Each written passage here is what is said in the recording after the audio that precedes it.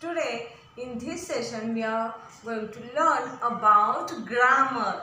In that we are going to learn about statement and questions. Okay, statement and questions.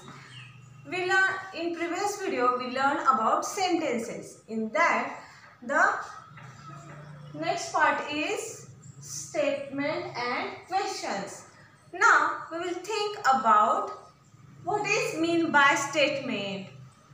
Statement. A sentence that tells something means we hear or we read any kind of sentence but at that time we got any meaningful idea that called statement okay or what is mean by question Question means a sentence that something.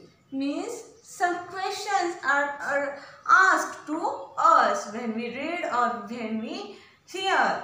That's called question. Means a statement tells us something. What is the difference between statement and question? Statement tells us, question asks us something. Okay. Now, for example, I am a teacher. That is sentence. Who are you? That is a question. Here is one hint that is questions maybe start with WH or any uh, WH words like what, why, who, whom, where. When we see the WH words at the beginning of sentence, we put question mark at the end.